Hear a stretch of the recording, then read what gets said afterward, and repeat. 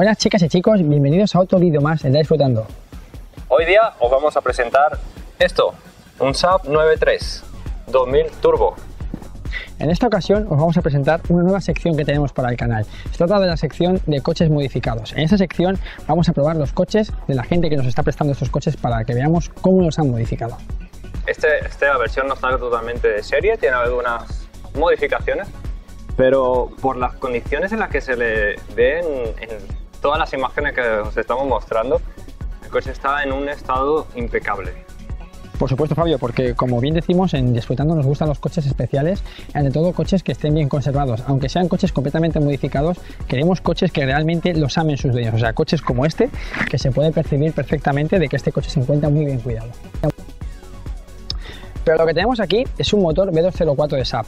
El V204 entrega 154 caballos de serie, tiene un turbo T25 y en esta unidad no se le ha modificado el turbo. Lo que sí se ha modificado han sido los manguitos de silicona de la admisión y también se le ha hecho un Stage 1 de reprogramación. Entonces, este coche actualmente está dando algo más de 200 caballos. Se podría considerar que es una modificación, una Stage 1, como se apodan aquí los coches en España.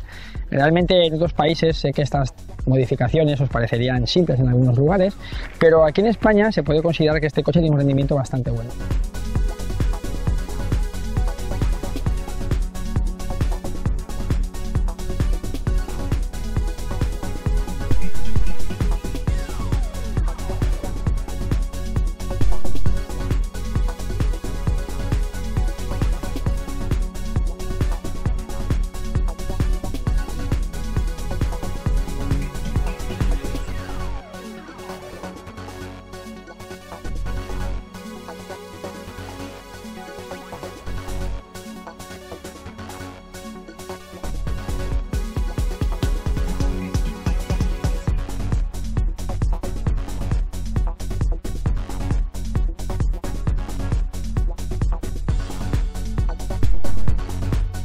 Posición de conducción es un coche bastante, bastante cómodo.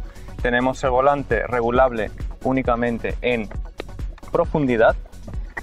Luego tenemos los mandos de la radio en el, en el mismo volante. Aquí tenemos el control de crucero y aquí tenemos los comandos de las luces, profundidad de las luces, eh, las luces en el cuadro y pues por supuesto aquí tenemos la pantalla, toda lo que es la plancha central. En la plancha central tenemos también la regulación del aire acondicionado, en este caso es un climatizador automático.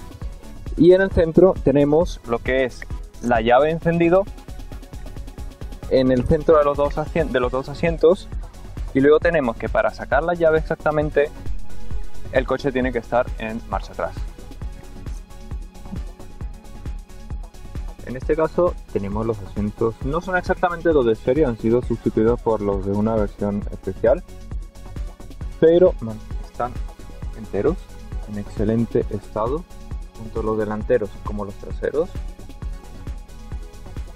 Podemos ver aquí exactamente todo lo que es el cuadro. Este, en diferencia con el Saab 900, perdió lo que es el manómetro del turbo. a mí, sinceramente, me gusta muchísimo. Hace ver los cuadros como, o el, el vehículo como si en realidad estuviese vivo por cada momento de aceleración.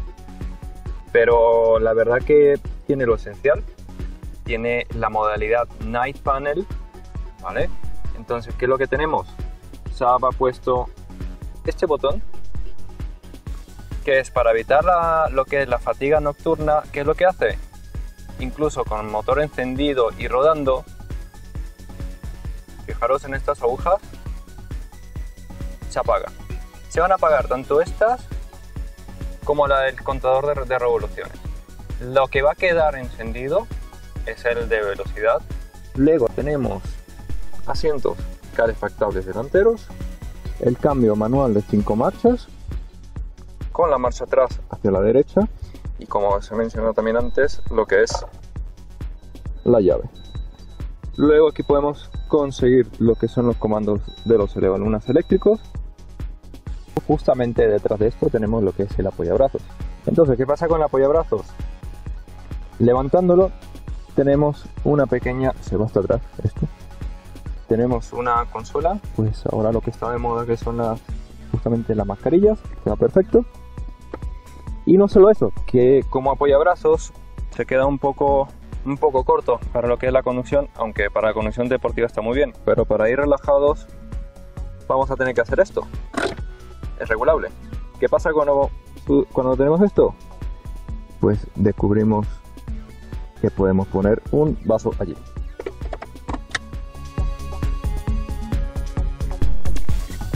Los ingenieros suecos se esforzaron muy fuerte para ofrecer un vehículo sueco, incluso estando en una plataforma de General Motors.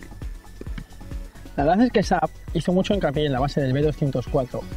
Y concretamente hizo una prueba en el circuito de Tagadella en 1996 en la que un Saab con este mismo motor rodó durante muchas horas. Pero bueno, ahora mismo estamos en la parte trasera y vamos a hablaros un poco de su habitabilidad. Esta unidad, como he dicho, es una unidad modificada y cuenta con unos asientos que son turbo aniversario y la verdad es que reconozco que la posición de conducción es bastante buena adelante, pero atrás no es nada mala.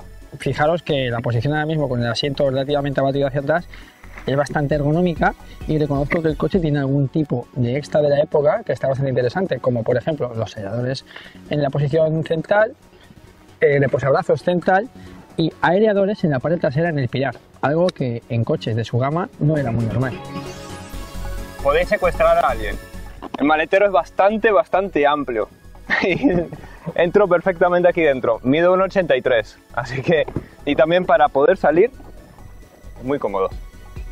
Así como lo podemos ver aquí, este ha sido la evolución del Saab 900. Y exactamente fue hecho sobre la base de lo que fue el Vectra. Aparte cabe destacar que este coche fue el primer coche en el mundo en tener las 5 estrellas en los crash tests de la Euro NCAP. Este no ha sido modificado estructuralmente, por lo cual sigue manteniendo sus 5 estrellas.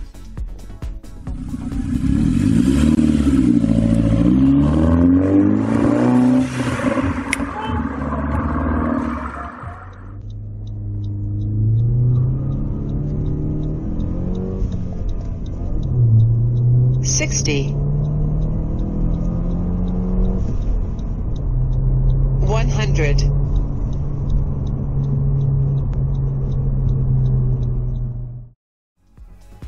Mostrando la siguiente tabla tenemos los resultados obtenidos a la cual nuestro suscriptor accedió a realizar con su vehículo y tenemos que el 0,60 km por hora lo, realizó en 5,24 segundos, los 0 a 100 km por hora en 10,19 segundos y los 200 metros en 11,4 segundos. Podemos decir que el coche declarado medidas oficiales de Saab en su momento fueron de 8,8 segundos el 0 a 100. Queremos incluir una nueva sección en, la que vamos a hablar de Good, The Bad and The Evil. En The Good pues tenemos este Mazda 3 con su carita contenta. En The Bad tenemos el mismo Mazda 3 con la cara ligeramente triste, que es como el morro que estuviese completamente volteado 180 grados. Y The Evil pues vamos a ver lo que son los peores puntos de los vehículos a los cuales hay que tener muchísimo cuidado, especialmente a la hora de compra o si tienes ese mismo vehículo. Empezamos por The Good, lo bueno de este Saab. Dime verdaderamente si esta línea no es bonita. Es bastante atractivo. El color es espectacular.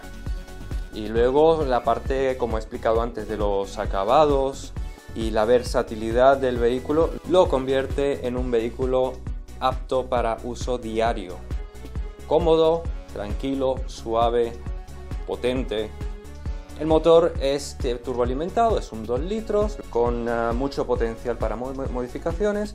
En su estado original no es un misil, pero se defiende bastante bien. Y a la hora de lo que sería un accidente, que espero que nadie lo sufra, pero contamos con seguridad 5 estrellas. Y el precio del usado es bastante asequible, especialmente para lo que estáis comprando, lo que es la calidad, el precio-valor. Podemos encontrarlos desde aproximadamente los 1000 euros hasta rozar los 5000. Y ahora si pasamos a la parte de bad del SAP 93, lo malo es que tenemos un chasis que es sumamente sensible y muy delicado. Entonces esto le perjudica mucho si lo queréis llevar a un circuito, que también luego se va a ver perjudicado por la parte del peso entonces ya hay que mejorar mucho la frenada, hay que mejorar muchísimo la suspensión. Luego, si es que estamos buscando alguna pieza en particular, eh, SAP ha dejado de existir hace unos años, lo cual dificulta un poco lo que es eh, la búsqueda y conseguir los recambios. En los de desguaces tranquilamente si podéis conseguir bastantes cosas, hay bastantes de ellos. Y por último, el coche es bastante subestimado en la comunidad de los apasionados por el, automóvil, lo cual eso es lo que ha logrado que eh, lo consigamos con buenos precios. Así que es por un lado es malo, pero por el otro es bastante bueno. Por último tenemos The Evo, que es lo peor que podemos conseguir. Estos vehículos son bastante, bastante delicados, como si tuvieses un Ferrari, que si no estás, eh, si no estás atento a lo que son los mantenimientos, fácilmente eh, podéis eh, cargar el motor. Así que los daños luego de reparación van a ser mucho más elevados de lo que cuesta el vehículo, por lo tanto no va a ser rentable repararlo siquiera. También luego los turbos cascan como churros. Esto también se debe a los malos mantenimientos que se le dan a los motores. El chasis se ve bastante perjudicado cuando se recibe algún golpe, así que es lo mismo que sucede con, el Opel. Luego tenemos eh, la cremallera, se encuentra anclada en lo que es la campana del chasis, también conocido como eh, la pared de fuego, el firewall. Así que esta parte justamente se puede rajar en los anclajes. Mucho, mucho ojo porque ya compromete lo que es la seguridad del, automóvil. También por último conseguimos lo que son ah, los casquillos que se encuentran entre la transmisión y la caja, están dentro de la caja, empiezan a coger holgura y al coger holgura pues las transmisiones empiezan a bailar y al empezar a bailar empiezan a hacer destrozos dentro de la caja cambios mucho ojo con esto. Resumiendo el review de este Saab 93 podemos destacar que si estamos pendientes de lo peor eh, de Evil de este vehículo, especialmente a la hora de valorarlo como, como un coche, una posible compra de segunda mano, Igualmente el vehículo nos puede dar muchas satisfacciones porque la versatilidad que tiene por sus cinco puertas eh, el potencial mecánico con excelentes acabados puede ser un vehículo que nos pueda dar más satisfacciones.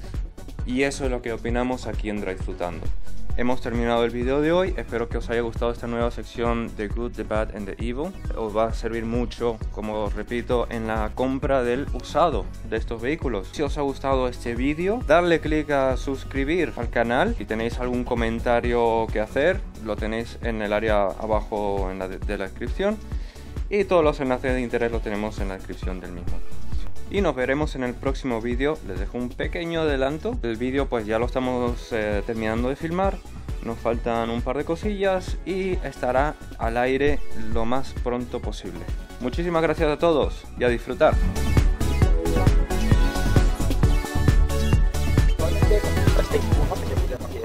Está dando una potencia y tengo el micro apagado, tío. Joder. Sí, tío. ¿Qué es? ¿Qué tiene que decir?